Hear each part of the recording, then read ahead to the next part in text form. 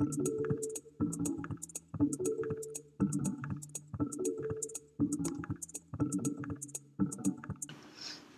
so just repeating because we're trying to record this. Um, so the question is, uh, are there different approaches or better approaches for normalizing and scaling, given the fact that there are some compounds that are naturally uh, high intensity and other compounds that will have naturally low intensity.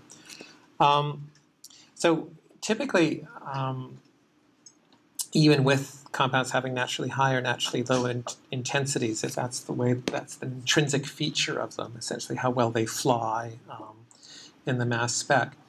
Um, it, it, it doesn't matter. You would still use the same scaling, same uniform scaling uh, approach. You want to apply it across all of the spectra for all of the samples. So you don't want to do scaling on one side of your spectrum, another side of the spectrum, a different scaling or normalization. It's got to be uniformly applied. It, just goes back to the point that there, you, you can't you can't quantify um, in untargeted methods. Um, it, it's so if something just naturally is more abundant, um, it, it doesn't necessarily mean that it's has a higher concentration. It just means that it flies better. Some things that are intrinsically lower, again, it just means that it's less ionizable. Um, the only way you can quantify, and the only time you really should be worrying about quantification is, is actually putting in isotopic standards. Um, people will add uh, extraction references or they will add um, extra compounds to their system just to help with, you know, as a calibration and to help with the scaling. Uh, that's certainly reasonable and feasible to do. Um, you know, some people will add drugs of some types because these are not expected to occur in the sample, so you know what they are, you know that they're unique. Um, but again, it also depends on your extraction protocols and whether it's a hydrophobic or hydrophilic extraction. Um, but yeah, scaling has to be applied across all regions of the spectra and all spectra in the same way uh, to be able to get um, things properly compared. Any other questions? Okay, so we're going to go to um, metabolite identification and quantification. Um, and we're going to be looking at, at three general approaches um, to compound identification. Uh, we're going to be looking at NMR first, then we're going to do GCMS second, and then we're going to do LCMS. And this is sort of a preamble to the lab that we're going to be doing uh, after lunch. Um, and so this is getting you primed um, so that you, you'll sort of have an idea of what we're doing. And then we'll also talk about um, searching through different databases for, for compound identification, especially with mass spec. So we talked about the last time, which is this idea of being able to go from spectra to lists. And, and formally, this is called metabolite annotation. Um, so your spectrum is unannotated, and when you finish, your spectrum is annotated.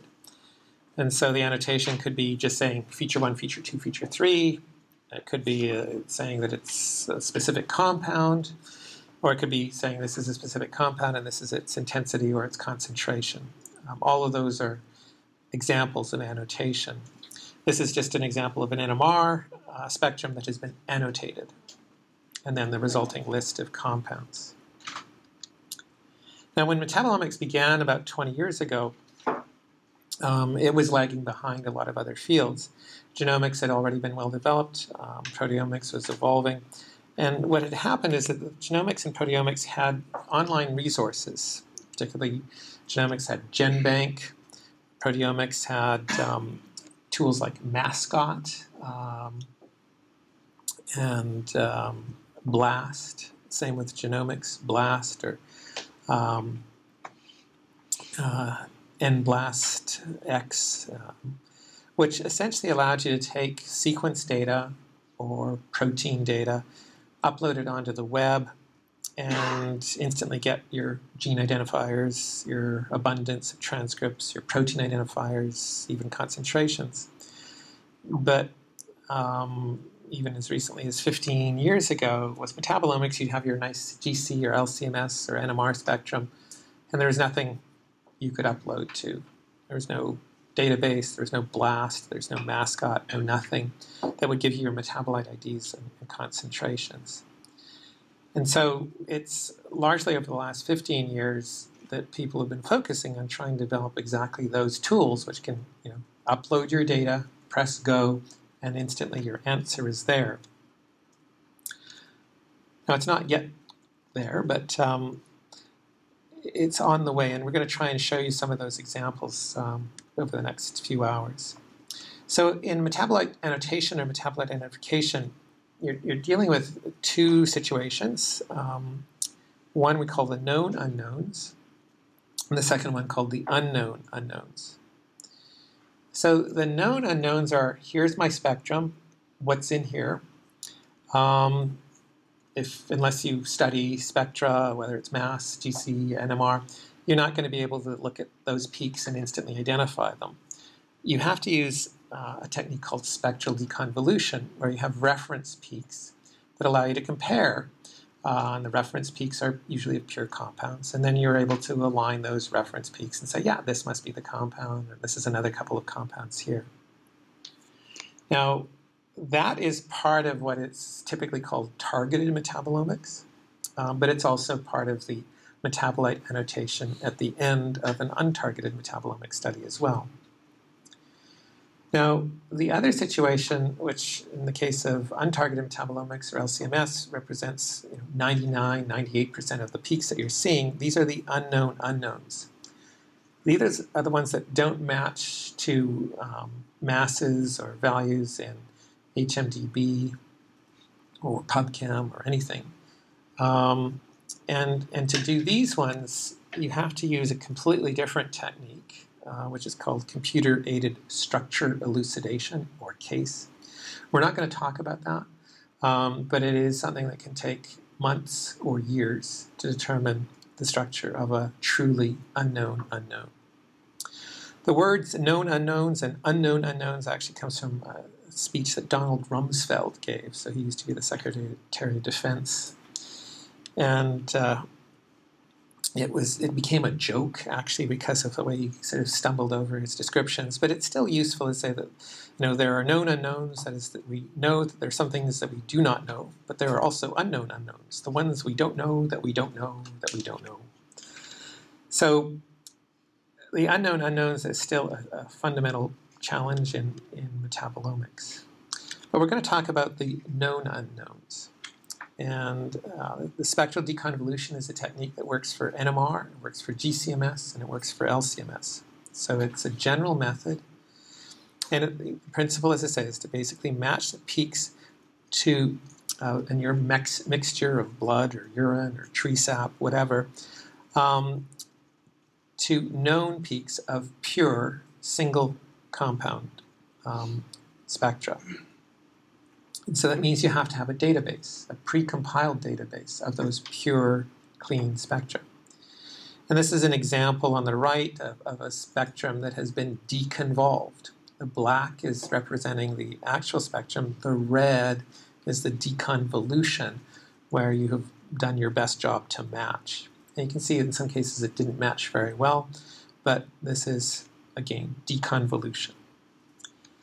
So conceptually, for NMR, but you could also say the same is largely true for mass spec. You have a mixture, which is at the top spectrum in, in blue. So you can see about a dozen peaks there. Some are tall, some are short. In NMR, we talk about doublets and triplets and singlets, but you can see uh, a bunch of triplets and a couple of doublets and a couple of singlets. This is a mixture of three compounds.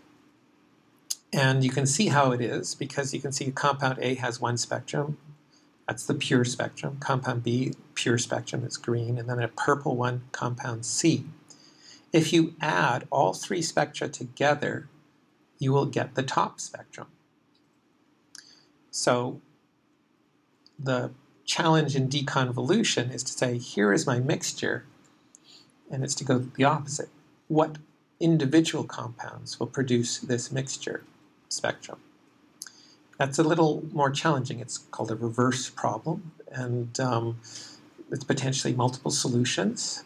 Um, you could argue that all of those doublets could be just a bunch of singlets um, from different other pure compounds that you know are as yet unknown. Um, but as I say, you start with the top and then you figure out, based on your library, what things best fit. So it's like a jigsaw puzzle. Um, in this case, again, it's the sum of the intensities and it's the location that ultimately tells you whether you've got the correct combination of compounds. Not only identifies, but it also quantifies, saying that each of those are present in exactly one, I don't know, millimolar each. So there are tools around for NMR that do spectral deconvolution. The first one that came out uh, around 1999 or so was called Chenomx. It's still produced, and this is an example where it's um, zoomed in, where you can see uh, a bunch of peaks from an NMR spectrum, and in yellow you can see um, one of the spectra from the reference compounds that fits to it. And it also identifies, I can't tell, is that alanine, uh, as being the matching compound. Um, on the lower right side, you can see the full spectrum of this sample. This is, I believe, a urine spectrum. And then on the left, you can see the picture of the structure of the matching compound, alanine. Um, so it is a bit of drag and drop uh, to try and associate the reference spectrum with the um, observed mixture spectrum.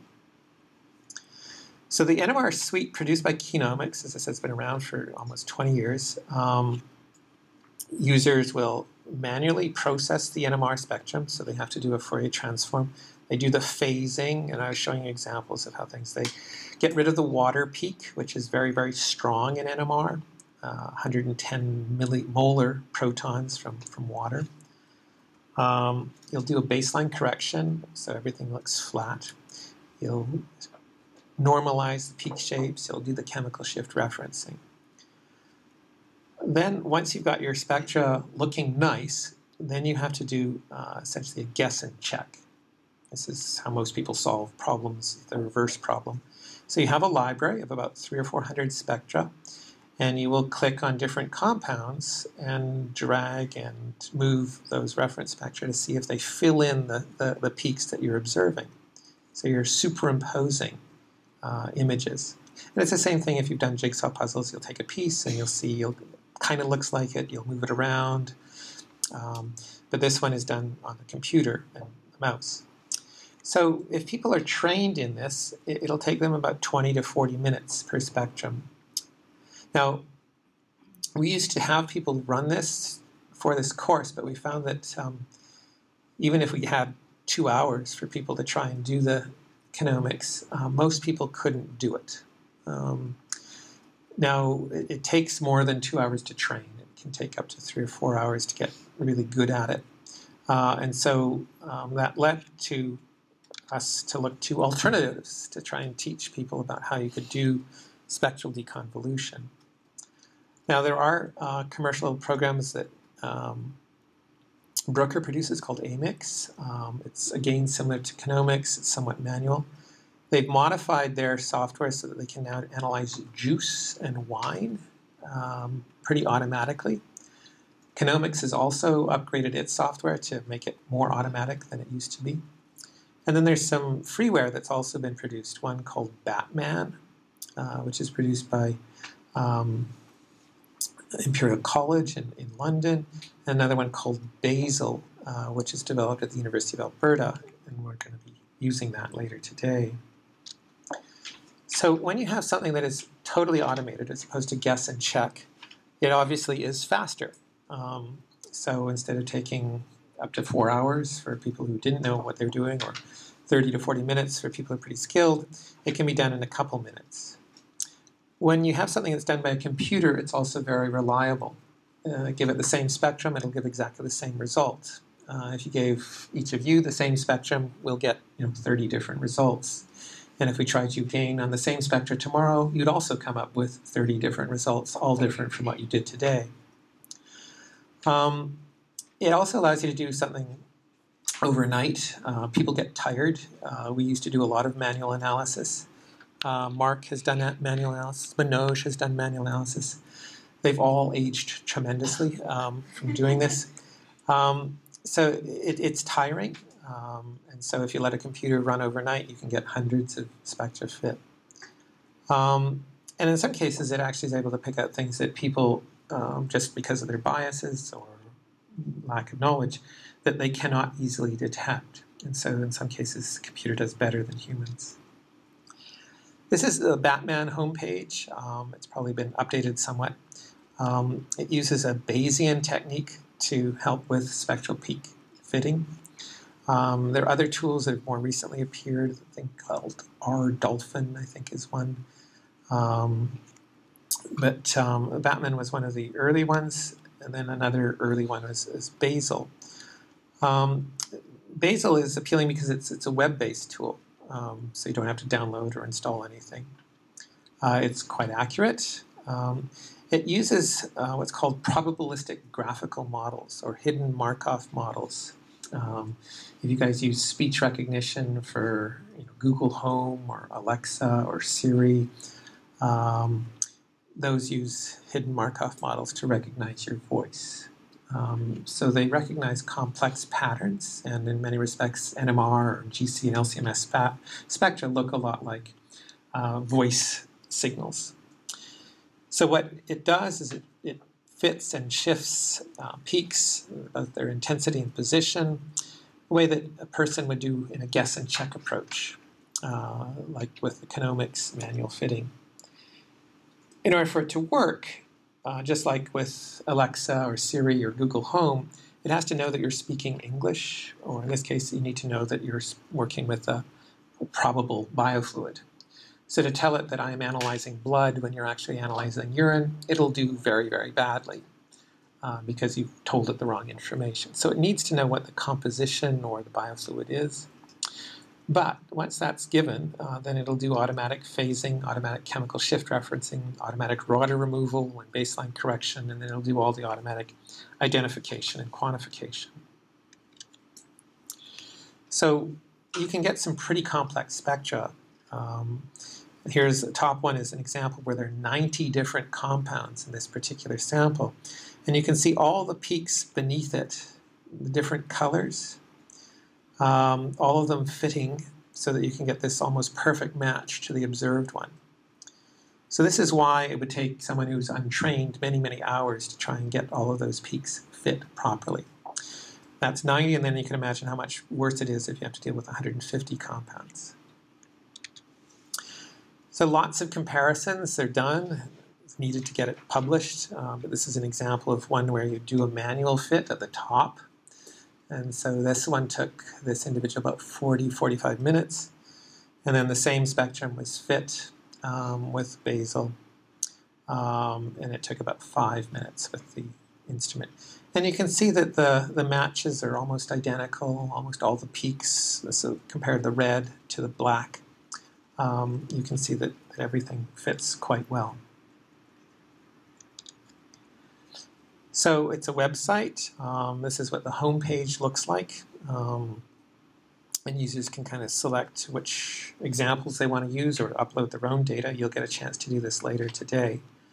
Um, so once you start uh, the operation, um, you have to provide some information about um, the instrument frequency, um, the type of um, reference standard you had, um, and how fast you want it to run, fast or slow. Slower one is a little more accurate. Uh, once you've selected those initial parameters, then you can basically press go. Um, so within about the first five seconds, um, the spectrum is um, Fourier transformed. So this is what it initially looks like. At that stage, it looks pretty awful. Um, this is after phasing. So this is correcting, so the peaks have gone from uh, dispersive to absorptive phase. Um, and you can start to see that looks a little bit more like an NMR spectrum. Again, that's about 15 seconds. And about 30 seconds later, it has done the baseline correction, it's removed the water, it's done the chemical shift referencing.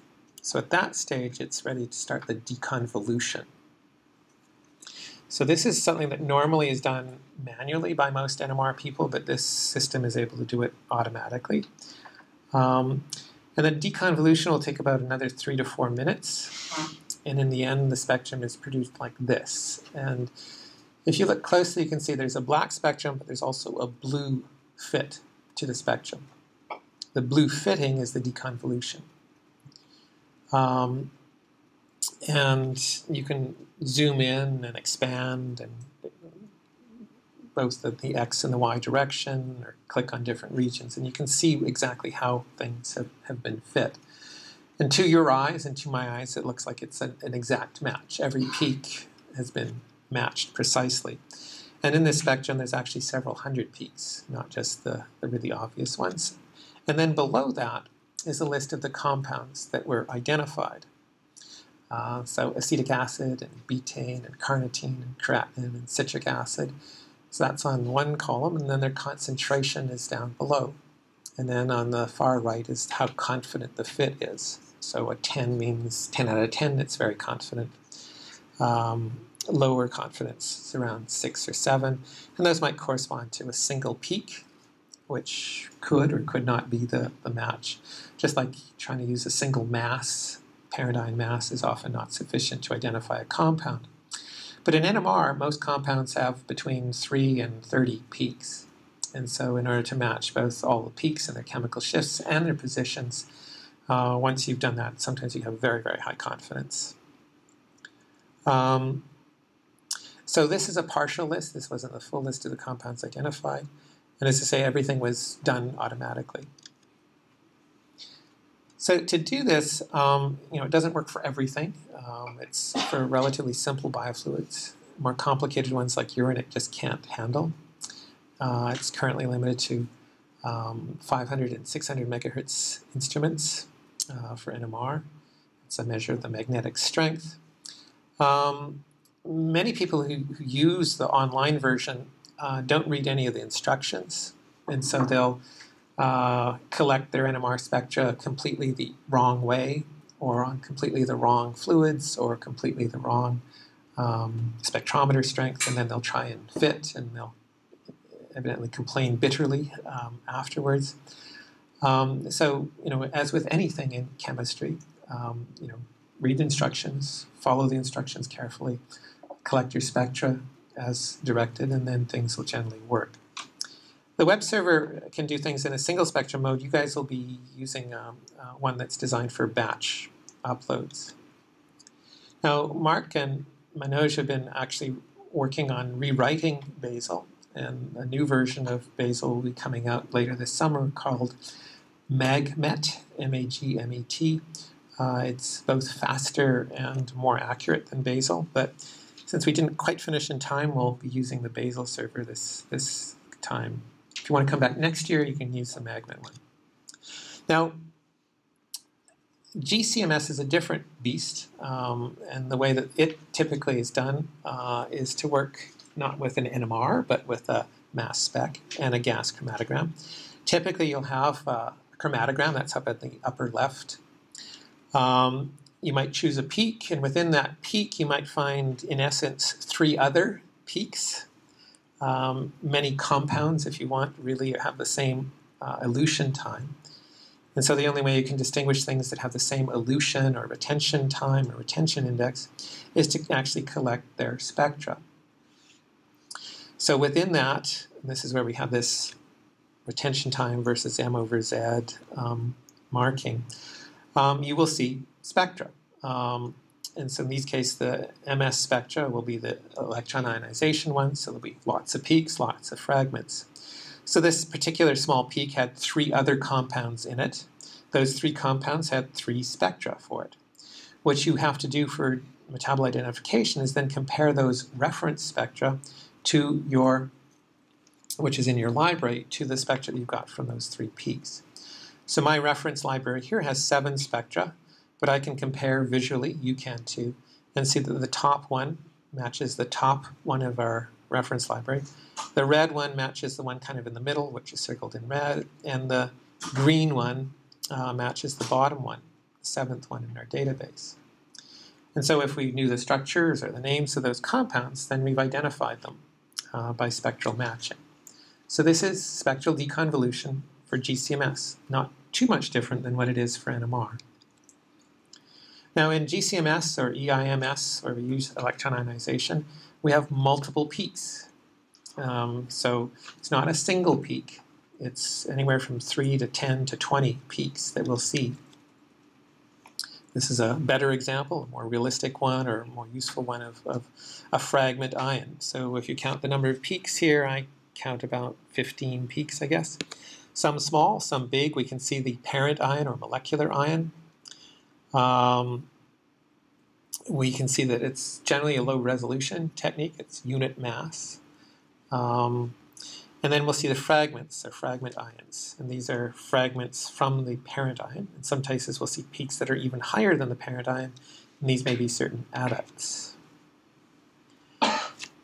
Now, in many cases, uh, it's important to remember that the GCMS spectra, the compounds are derivatized. We talked about trimethylsilane, or TMS, and they will be decorated. If there's one TMS, it'll add 72 Daltons. If there are two TMSs, it'll add 144 Daltons, and so on. There are other derivatization agents. TBDMS is one, and it'll add obviously more mass to the molecule. And methoxime, or MO, also is a derivatization and it, agent, and it will also add certain masses. So you have to remember that when you're looking at GCMS, most of them are derivatized molecules. The masses do not match the pure compound. They have to match the derivatized compound. Now GCMS works for molecules that have a molecular weight less than about 5 or 600 Daltons. So that's a, that's a fairly severe limitation. It works really nicely for amino acids and organic acids and some sugars, some fatty acids but it doesn't work for really hydrophobic molecules or for really heavy molecules. We talked about how its resolution and chromatography, the plate count, um, and reproducibility is, is much better than liquid chromatography. A key advantage of EIMS over LCMS is it's highly standardized. Um, so the EI spectra that were collected on one instrument compared to another instrument, to another, to another, from another generation, they're still very, very similar. And the way, and because of that standardization, it, it is possible to make use of very, very large spectral libraries for GCMS. The largest library is the NIST database, the National Institute for Standards. It's maintained in the US. It's, it's commercially available. And they have these things, there's NIST 11, NIST 14, I think NIST 17 or NIST 18 is out. This just represents the year. So NIST 14 was released in 2014. NIST 11 released in 2011. The NIST 14 database uh, has almost 300,000 EI spectra for almost a quarter million compounds. Now it's a little exaggerated because they're counting all of the derivative, derivatized compounds. So Many compounds will have three to four derivatives. So the actual number of unique parent compounds is maybe a quarter of what they list there, but it's a lot. So it's a pretty impressive collection. They also have ion trap mass spec and QTOF mass spec. They also have retention index values for about 80,000 compounds. The software looks like this. Has anyone ever used the NIST software? One, two, three. Not too many. It's, I think you can tell it looks ancient. Um, it hasn't really been updated a lot, but it, it does um, does allow you to, to do searches. It has compound uh, identifiers, and then you can compare sort of these mirror spectra between your observed spectrum and the reference spectrum. Uh, the one on red versus the one on blue, which is kind of the thing in the middle in the, in the, in the window here.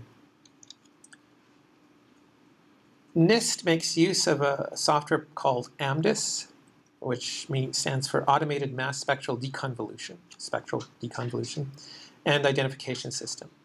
So just like the NMR concept, it, will help identify you know peaks, distinguish background from noise. Uh, it'll pick out peaks um, which is done similar to Bayesil and also to MagMet, And then it'll do the deconvolution, which involves matching spectra to observed spectra and therefore identifying compounds through the library.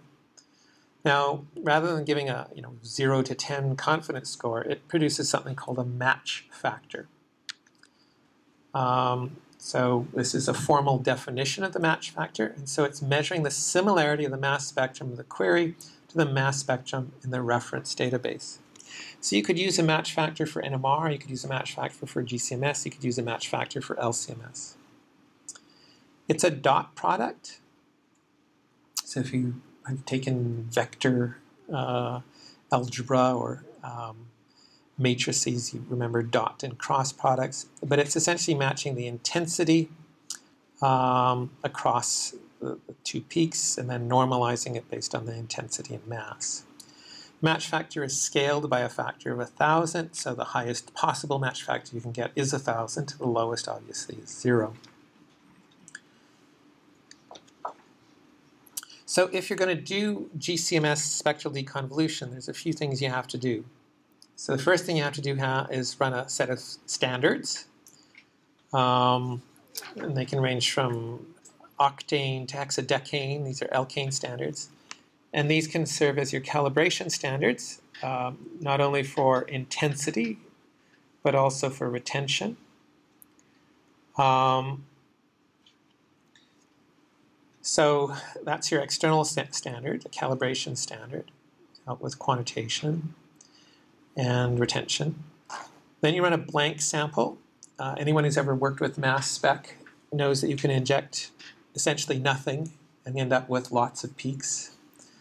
Um, so this blank sample allows you to sort out what those not, uh, strange peaks are, often solvent or derivatization agents. And then you run the sample of interest um, under the same conditions, solution um, heat gradient, temperature gradient uh, as the blank. So here are your external standards, which you run. They should be well separated. Uh, and if you know their concentrations, then you can match their, their intensities to help calibrate the concentration. Um, that calibration file is CAL. Um, um, will be used to calculate your retention indices, um, but also to help calibrate the intensities. And then once you have those retention indices from your alkane standards, then it helps narrow down your search with AMDIS. So AMDIS will search through the NIST database, the two are coupled, um, and match and display the, those best matches. Um, it'll also, through that matching, some of it automatic, some of it manual, allow you to get rid of the the false positives that are in the blank. So here is the AMDIS tool that's allowing you to create this calibration file. We're not going to run AMDIS. I'm just showing some screenshots. And you can see the alkane standards as they're marked in there. It then reads them in and calculates your retention indices for the actual spectrum. So you're calibrating uh, with that alkane standard The alkane standard then readjusts uh, your spectrum, which, as you can see in the sort of the white, has a whole bunch of small and large peaks all scattered all through it. And so now the retention indices are, are properly calibrated. Once you've got things calibrated, um, then you can do this thing where you're going to look at individual peaks on the chromatogram. Now remember, a peak is not necessarily a pure compound. Um, it is going to be a retention time and then a bunch of m over z values. And so this particular one, uh, we've chosen this peak, we've clicked on it, and then we can see a white, a red, a blue, a yellow uh, set of peaks that are all in there. Um, we'll zoom in a little more so you can see it. So I've clicked on the peak here, and I can see a yellow, red, blue, white. Um, the white is the overall sum and the blue, red, yellow are the uh, individual peaks. Um, clicking on those peaks, one has a mass of 73 Daltons, another has a mass of 144. Turns out they are both on the same spectrum, um, roughly the same intensity. And then I can compare it, or AMDIS will compare it to its library, and it finds it's almost an exact match, an 84% or 840 um, match factor to valine. So that peak marked in red there with the red box, um, based on its match factor and the comparison to the uh, deconvolved spectrum of pure valine, which you can see at the bottom there, matches pretty well. Um, and so you can, with high confidence, say that that peak is valine and nothing else. There might be some element, the yellow one may not be valine, it might be some other small, low abundance molecule, and you may have to do a bit more deconvolution. So it's an interactive process. Um, you're working with visual cues, you're clicking on things, um, you're assessing, you're evaluating the match factor. Um, so it takes time. Uh, and different people will get different results, just like with Chenomx as a manual approach. So there are uh, some, and you guys will try this today, called automatic approaches, a GC AutoFit. I'll talk about that later. There are also other manual approaches produced by other companies, Analyzer Pro, ChromaTOF, uh, and AMDIS. And these were compared about 10 years ago. Things haven't changed a whole lot.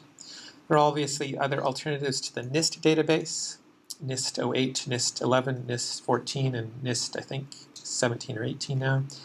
Um, there's a GOLM database, um, and Oliver Fiehn's group has developed a database called the FiehnLib database.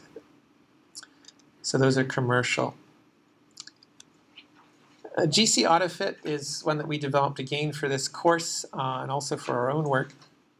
So the intention was to make this um, freely available and over the web. So it's a web-based tool.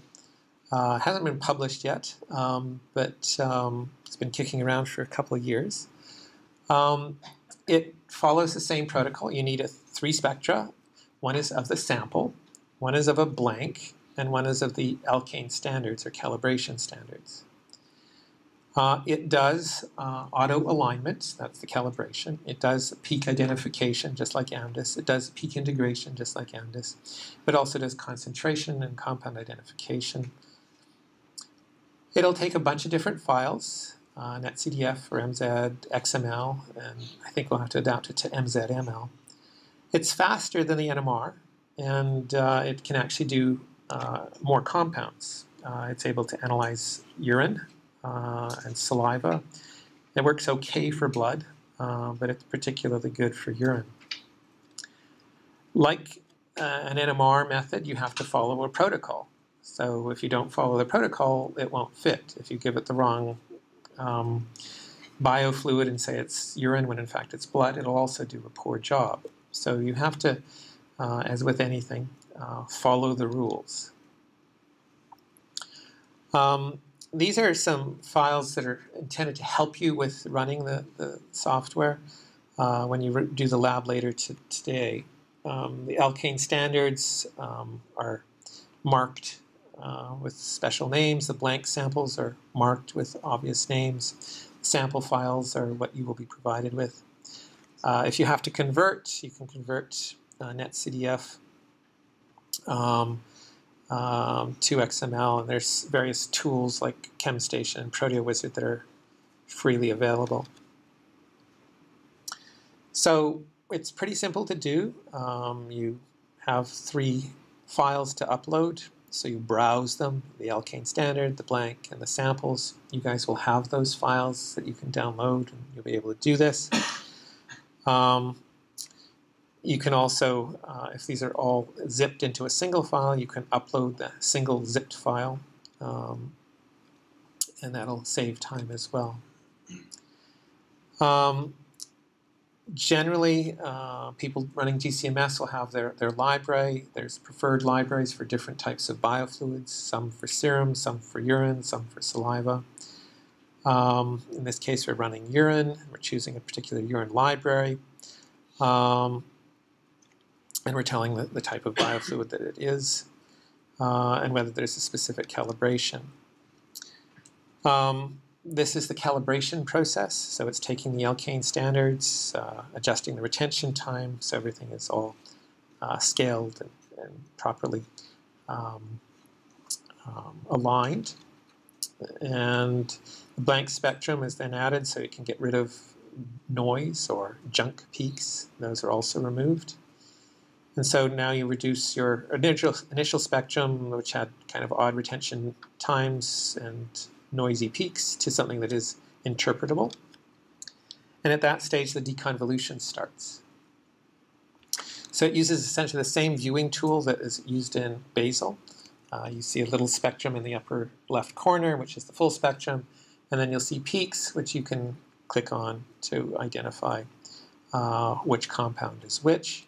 Uh, there's a comma separated value file, which indicates the uh, compound name, its retention time, intensity, and calculated concentration.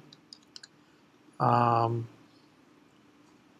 so as I say, it's even the table view, which is what most people are interested in, the concentrations, or the spectrum view, which just sort of gives you some reassurance that, that the fitting has worked. Sometimes it may completely go sideways, but that's quite rare. Uh, and as I say, the table values allow you to uh, read off your concentration. So just like Bayesil, um, you can just upload spectra, press go, wait a few minutes, and you've got your compounds identified and their concentrations rolling out. Now, at this point, it's probably useful to remind people about um, levels of identification that are used in both metabolomics, and particularly as it relates to mass spectrometry. So the Metabolomic Standards Initiative from about 10 years ago identified four levels of metabolite identification.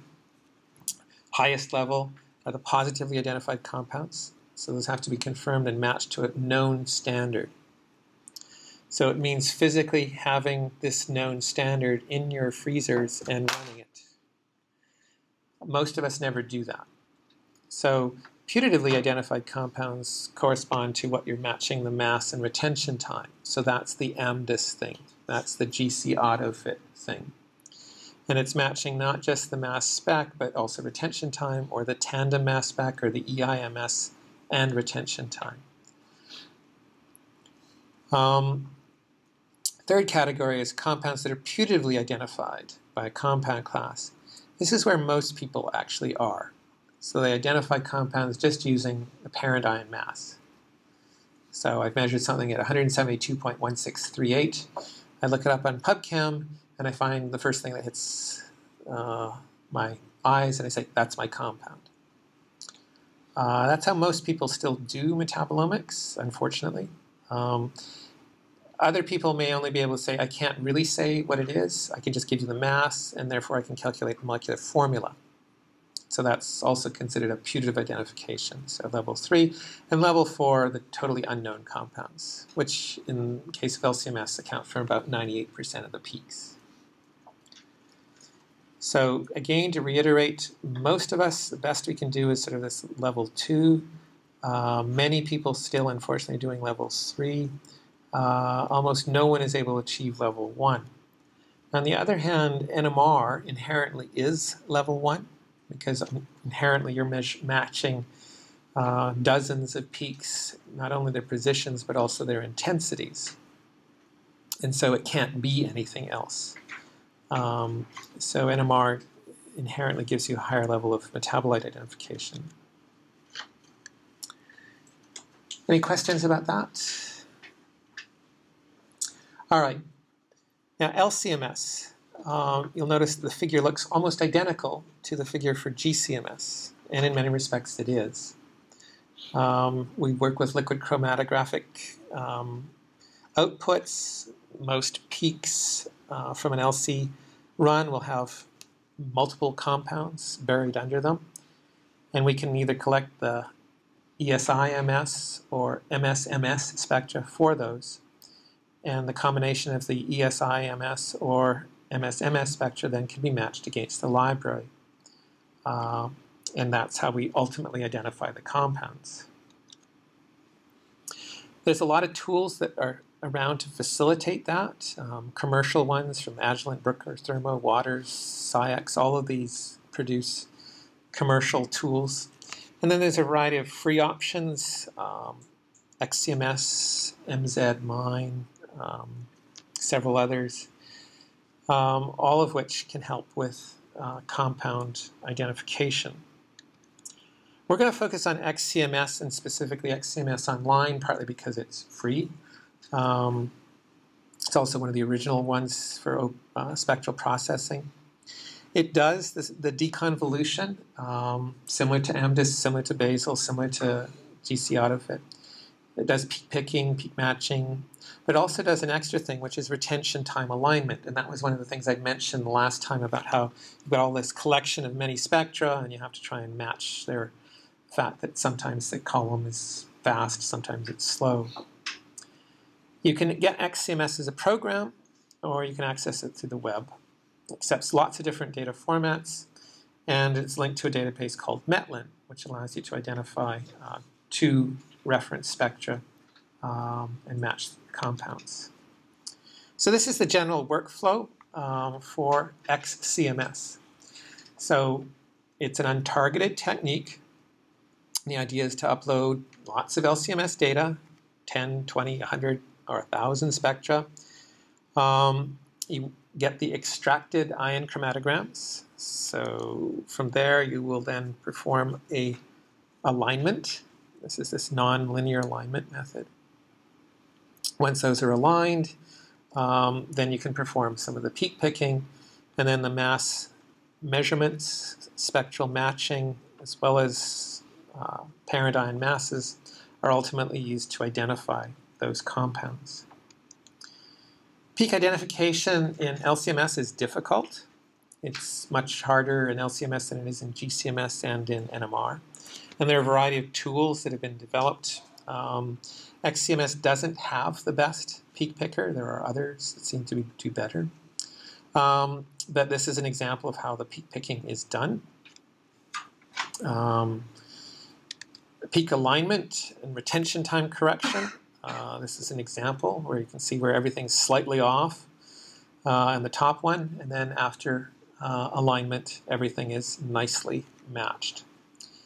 So these alignments, uh, obviously there's also scaling that can be done or should be done. Um, all are critical, as are peak identification and distinguishing peaks from noise. This was published uh, about 10 years ago, and the time XCMS was doing extremely well. As I said, there are other tools now that seem to outperform XCMS, um, and some of the other ones that were uh, also later modified. So it, it's a it's a busy field in the sense of the number of tools and the performance of the different algorithms. But as I say, we're just going to focus on XCMS today because most of the other ones are not available over the web. Most are either commercial and others require lots and lots of challenges of installing. How many people have used XCMS? One, two, three, four, five, six, seven. How many people have used XCMS online? Two or three, four, five. Okay.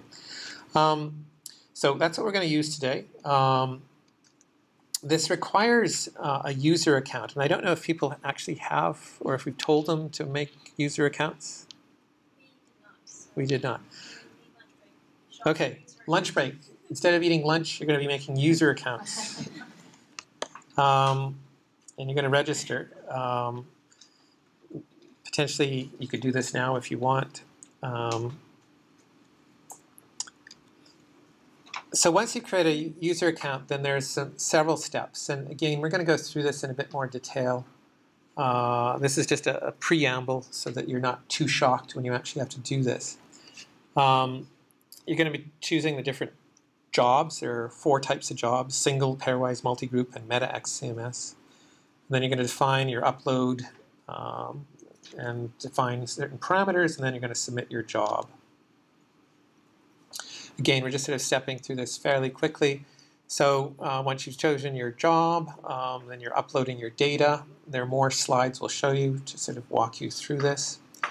Um, but again, it's, it's, fairly standard with web tools. Click, press, click, press, and uh, as long as you know where your files are, it's relatively painless.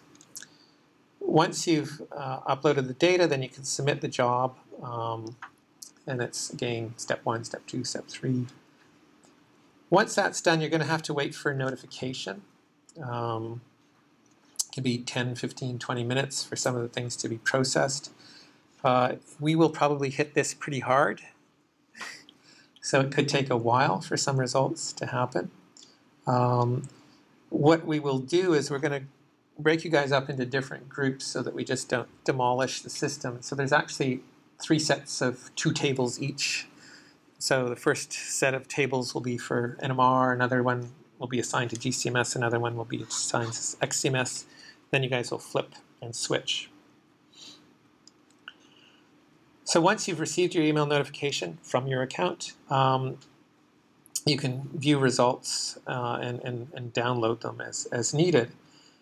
Um, there's graphical summaries, which are quite impressive. There's also um, tables, um, uh, comma separated or Excel-like tables, which have very similar types of information that you would have seen with the uh, GC AutoFit. So uh, identifiers, not necessarily names of the compound, but uh, information on retention times, average intensity, individual peak intensities, their, their mass, paradigm mass, and so on. Now, as I've highlighted before, when you're looking at, at LCMS data, there's lots of peaks, tens of thousands of peaks. A lot of them are not necessarily real. Um, the peak intensities that are recorded are only relative, so with XCMS you do not get concentration data, unlike with, say, GC AutoFit or unlike with Bayesil or Chenomx. Um, peaks aren't identified with compound names, so in order to annotate the compounds, then you have to go to separate tools, say Metlin or HMDB, to use either the MS or tandem mass data. Now, we've talked about how NMR is good for hydrophilic compounds and how GCMS is good for um, acids and in some cases amino acids. LCMS is best for uh, lipids, uh, for fatty acids, and for generally hydrophobic molecules. You can get amino acids, you can get some hydrophilic ones, but not as many. To really do proper identification with LCMS-based metabolomics, you need both the MS, which is the paradigm, and the tandem MS data, along with retention data. Ideally, you'd also like to have some internal standards to validate that. If you have very, very high accuracy Orbitrap FTMS data, um, it can help narrow down what your compounds are, but it doesn't necessarily tell you what they are unless you've either got the authentic one or a lot of MS, MS, or MS to the spectra uh, from reference libraries. So as I said, uh, for many years, and unfortunately still today, a lot of people identified compounds purely by mass matching. So I found the thing at 172.1634. They'll upload it into ChEBI, they'll upload it into PubChem, they'll upload it into ChemSpider, or they'll upload the mass in HMDB and simply say, do I get a hit? And you could do this at PubChem, which has you know 100 and some million compounds, and here we are uploading a particular mass uh, or mass range. I've got anything between 89 and 89.1 Daltons is what I've put in. And what do I find? This particular list gives me 400 and some matches. Um, so I could choose the first one or the fourth one or the 24th one and say that's my match, but that's, that's not good science. I could use ChEBI and say, okay, this is more biological stuff. 99% uh, of the compounds in uh, PubChem are actually not in living systems. Uh, whereas with ChEBI, these are biologically related. Uh, so ChEBI also has a mass search, and you can give it a specific range, as does HMDB, as does ChemSpider. But what is fundamentally important to remember is that if you're doing biology look through biological databases. If you know the organism you're studying, look at the database specific to that organism. Trying to do a search and a hit and a match through PubChem is about 99% guaranteed to give you a false positive. Now there are more advanced searches where you can now search not just with simply a mass or mass range, but you can actually do spectral matches. Um, or um, associate things for um, adducts and adduct variants. Uh, we'll go through some of them, but we've mentioned NIST, which has lots of databases for QTOF um, and ion trap. Metlin has a variety of spectra uh, for QTOF and ion trap MassBank. And then we'll talk about another tool called CFMID. So it's not just simply mass searches, but parent ion, peak list searches, as well as spectral matching. Um, so this is more proper, more correct, although there are caveats. I'm going to talk a little bit about a tool that was developed recently called CFMID. Has anyone heard of this? Okay, no one except Karen. so this is a server that allows you to do compound identification from tandem mass spectra, or MSMS data. Uh, it also predicts MS-MS spectra from known compounds, and it uses machine learning techniques. It's been adopted also to GCMS data as well. So currently it's the only tool out there that allows you to take a compound, draw it, and predict the EIMS or MSMS spectra. It also has a large library of predicted spectra, uh, as well as known spectra. So people can then upload a spectrum and say, what does it match? It can also annotate spectra with the individual fragment ions and tell you what those fragment ions are. So it has three options. Um, spectral prediction, peak assignment, or compound identification. So the compound identification option is you upload your MSMS spectrum of your compound of interest. Um, pick and select things uh, as you normally do, indicate the collision energy. Uh, if you have multiple collision energies at which you collected spectra, that's usually a little more informative. And then it'll have its predicted spectrum. This is a little older view, but it now has, I guess, the mirror view with the observed spectrum on top and the predicted spectrum on bottom. And then it gives you the listed compounds and their match factor uh, based on that. Yes. Yes, you're allowed. Um, does, it, does it predict like classes for fragments that might necessarily belong to a specific molecule, but like a class of molecules? Uh, it's it's specific to uh, individual molecules rather than sort of classes, but you will find common fragments from many things. That you know, see benzyl rings or uh, it sort of predicts, I guess, McLafferty rearrangements and things like that. So um, it's it's used a lot by people now to do unknown identifications. Um, and in fact, it's been used extensively in the HMDB to predict spectra for all of the compounds in HMDB. Um, and then most uh, mass spec companies are using the code now to generate MSMS spectra predictions using their different instruments from Orbitrap to ion trap to FTICR, depending on the collision energies they use. So if you had an in-source fragmentation that you're not sure, is there, would this work to try to determine what parent was or, or give recommendation for? It can, uh, yeah, yeah. It's not perfect. Um, I mean, no one yet has got something that predicts perfectly, but um, it's very accurate um, for some compounds. There's a new version coming out which is very, very accurate for lipids. Um, and uh, it usually gives you a hint of what's, what's going on. Natural product chemists have used it a fair bit to do compound ID. Okay, any other questions? Hey, Francis. Hi. um, some of these compounds are. I saw some reference to KEGG and so forth. Do, do they know? Is there like taxonomic origin, like microbiome versus? Let's say you're looking at a human sample, to know if it's from microbiome versus versus human genome sort of pathway. Yeah. So. Um, there are organism-specific databases, and then within the human metabolome database, they also indicate um, where it's from. Yeah, and in some cases, an example, alanine can be both endogenous but it's also produced by microbes. Uh, and you can't know how much or what portion is. But there's others that are exclusively produced by microbes. Um, uh, so hippuric acid is exclusively produced by microbes, um, although it comes from polyphenols that you eat from your food. So it's sort of a, a mix of both a, a food and uh, a microbial metabolite. So that information is encoded in, in a number of ones. Um, the Human Metabolome Database has also been updated recently with a, an ontology, uh, chemical ontology similar to gene ontology.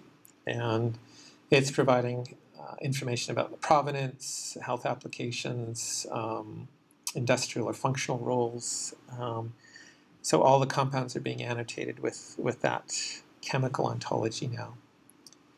Um, but yeah, the origins and pathways is still sometimes challenging because, in fact, sometimes compounds are, you know, pools for, pooled from many ones. Anyways, for those of you who haven't met Francis, this is Francis Ouellette. Um, he's one of the founders of the CBW and, and, in charge of the CBW program. David and I are the only two remaining founders. yeah, all the others died from old age. um, no, that's true. I guess we've been around for a long time. And that was the, the sign there is we think is 20 years old and starting to show its. um, anyways, I'll carry on because I guess we, we probably have some hungry souls here. Um, so, um, so when we're doing metabolite compound identification by mass spec only, um, we can and we'll see things like salt adducts and neutral loss species and multiply charged species. These are extra peaks that show up in the mass spectrum. And these extra peaks are uh, a lot of what we see. In some cases, we mistakenly think they are real features. Um, technically, they are noise. We often have to do a lot of work to try and distinguish those adducts and multiply charged species from the parent ions or to merge them into single peaks.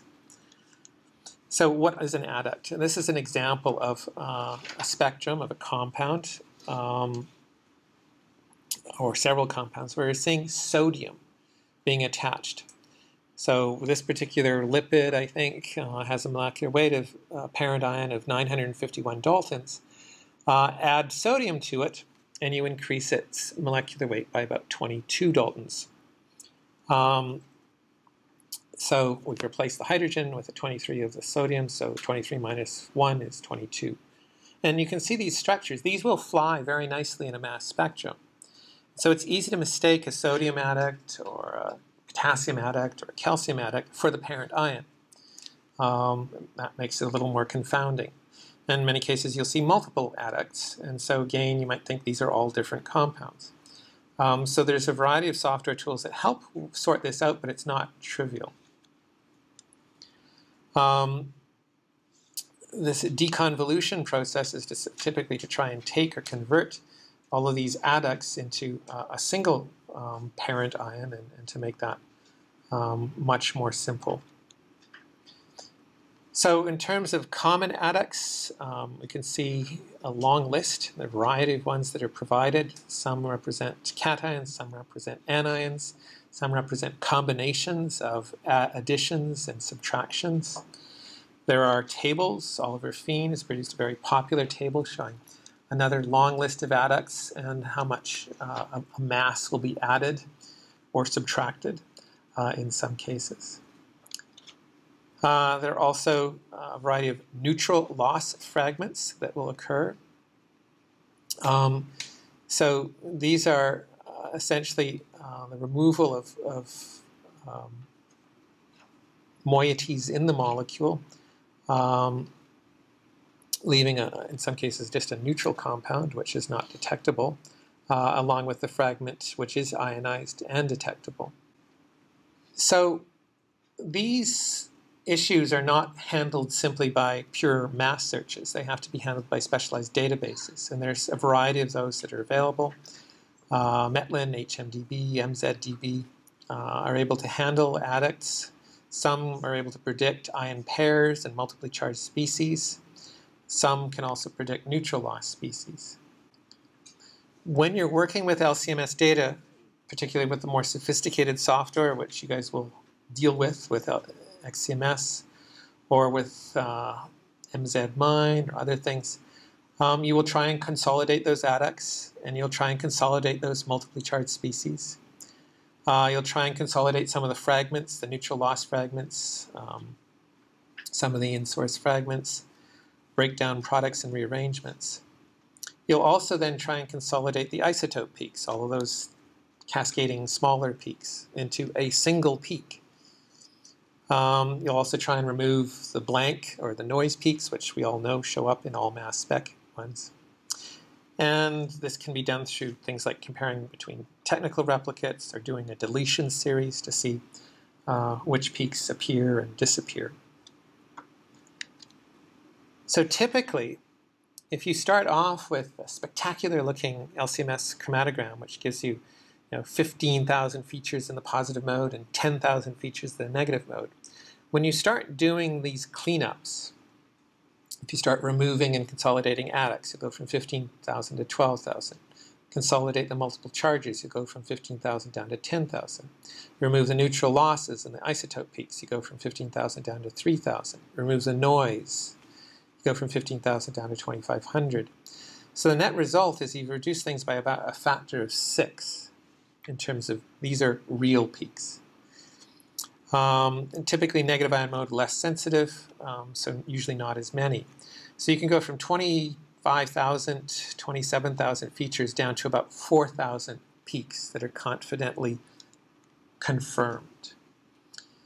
But you still see people publishing and saying, yeah, I have 27,000 peaks. Um, and when you see numbers like that, you immediately know they haven't done proper cleanup. So once uh, you have done some of the cleanup, then you can start trying to identify what those compounds are. And as I say, we can still use very, very high resolution mass spec to not necessarily identify the compound, but to identify a class or at least a molecular formula. So there are tools that are called molecular formula generators, which will take a high accuracy, you know, three, four decimal plates mass value, uh, and allow you to generate a formula.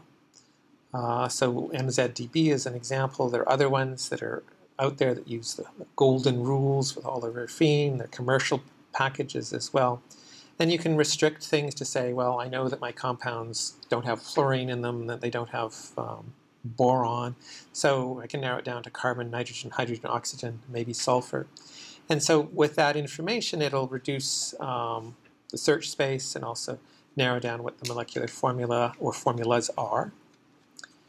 And then you can go and search against databases not purely by mass, but by molecular formula. And that gives you, I guess, potentially a slightly better search uh, option, but still not great. So I'm just simply saying it's possible, but I strongly discourage it. Now you can go further, where it's not just simply saying it's just got to be carbon, hydrogen, nitrogen. If you make use of other bonding restrictions, the atomic composition, but also the isotopic abundance, you can do even better. And this is something that grew out of work from Oliver Fiehn and the so-called seven golden rules, which have been around for a while. But these allow, again, using information in the spectrum, as well as at high accuracy masses, as well as information about what's allowed in chemistry. You know, you can't have a C1201 compound. Um, it just can't physically bond. Um, so those rules allow you to narrow down what is a reasonable formula um, and what's a feasible structure. So these formula filters are available also in commercial packages. Bruker can also provide that sort of formula filter, Thermo, I'm sure, and others. So this is uh, sort of a scale of what's possible um, in terms of if you limit things to all compounds less than 2,000 Daltons with carbon, hydrogen, nitrogen, sulfur, oxygen, and phosphorus. So that's 8 billion elemental compositions. If you use the seven golden rules, that shrinks it down by a factor of um, 12 or 13. Um, And then if you look at uh, isomers and the formulas in PubChem, that shrinks it down to 700,000. And then if you shrink that further in terms of the number of ones that are known, uh, it's even smaller. As you increase the molecular weight, the number of possible compounds increases. Um, so if you're looking at large molecules, it's technically more difficult to identify them purely by formula or by mass matching. If you're looking at small molecules, it is intrinsically supposed to be easier. There's also some data indicating how mass accuracy does improve um, the performance for identifying or zeroing in on what the compounds are. So either you have an incredibly accurate mass spectrometer at 1 or 0.1 ppm, or if you use the isotopic abundance, then you can also shrink things down quite considerably. If you have a low resolution mass spectrometer, um, you can see how the number of possible matches increases quite significantly. You can also see on this table that as the molecular weight increases, the possibilities also vastly increase. Now, these are all essentially trying to highlight the fact that it is dangerous, extremely dangerous, to identify compounds on the basis of mass. A, you can see the number of possible matches, number of possible molecules, um, and that even if you are still trying to use mass plus isotope abundance, you still have lots of possibilities, and you still haven't met the criteria from the MSI standards of going much beyond a level 3, uh, not even close to level 2. Um, this is an example of a compound that was actually uh, identified ultimately by using isotopic abundance, uh, parent ion mass, but also lots of NMR and lots of MSMS. Um, but um, again, where you see high resolution mass spec, you can see the isotopic abundance. It narrows down what the formula can and should be. And then by uh, matching to what the known compounds for this particular plant could and should be, um, they were able to get a pretty good idea of what it was, which ultimately was confirmed. Anyway, so this is an identification of a known unknown from a tomato um, and looking at uh, the actual math matches. Now, as I said, um, if you use databases improperly, you're going to end up with lots of mistakes. Uh, many databases, especially PubChem, also Metlin, also NIST, mix non-metabolites with metabolites.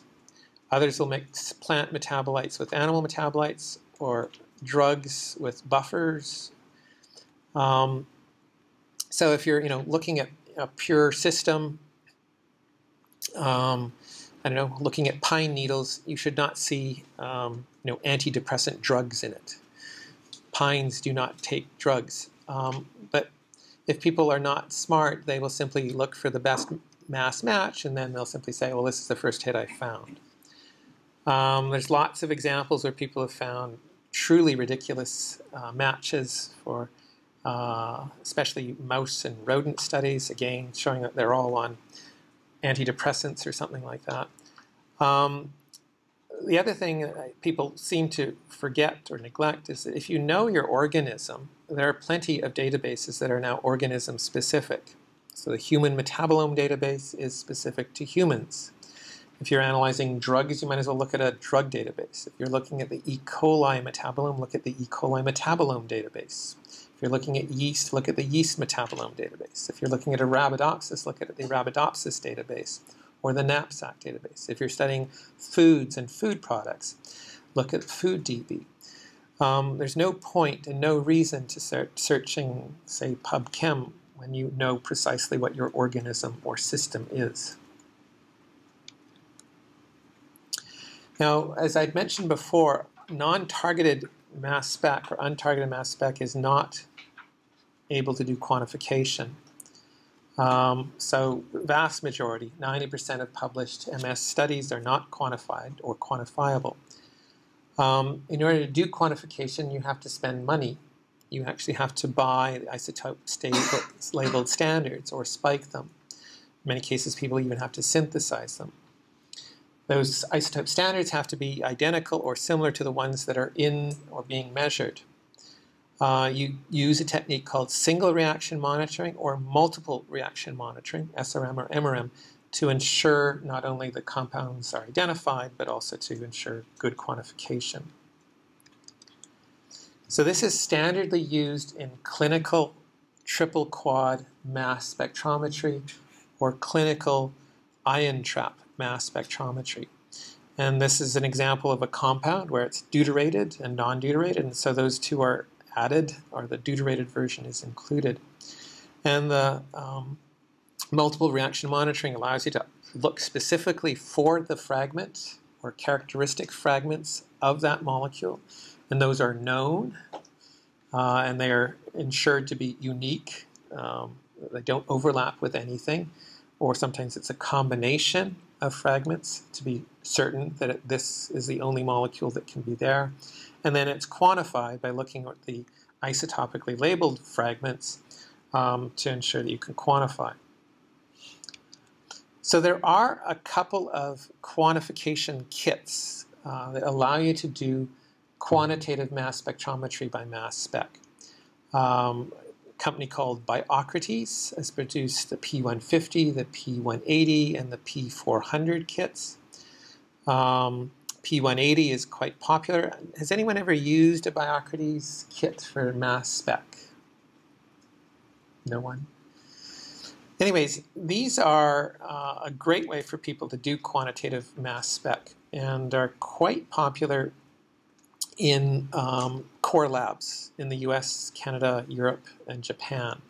They're not heavily used by um, smaller independent labs, which is a shame because uh, these are intended to make uh, metabolomics very simple. Um, so, um, these are some examples. Typically, with mass spec, uh, you can go down to 10 nanomolar levels and high concentrations of up to about 10 millimolar. Um, so the lowest limit is about a thousand times better than what you can do by NMR, and the highest limit is about 10 times worse than what you can do by NMR. Anyways, it's still very impressive, still very reproducible, and um, a very simple way to get quantitative mass spec data. So we're going to wrap up now, um, but again, if you want to start getting ready for lab number two, um, there are some data files that you can start downloading from the website or the wiki. Uh, you guys also have to try and get an account for uh, XCMS Online. Uh, so I think if you want to try and do that, the downloading may take a little while because I think we've got a slow connection and perhaps Anne might have some comments or cautions for us.